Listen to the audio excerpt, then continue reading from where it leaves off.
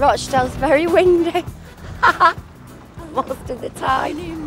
The air's very damp and everyone gets sort of catarrh and colds and things like that. It's quite a rare occasion that the sun is actually shining. People have got a good sense of humour, despite the wind. It's just a normal town, really. Lisa Stansfield? Yes, great, yeah. yeah. Yeah, I think she's lovely.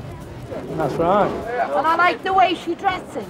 When I go out in Rochdale, I don't really sort of go out in the town centre anymore. I did when I was younger. Um, but I, I tend to stick to the same places, really. You know, the same pubs, quite close to home. So I can stagger back quite easily of an evening. I like her music because she writes it herself.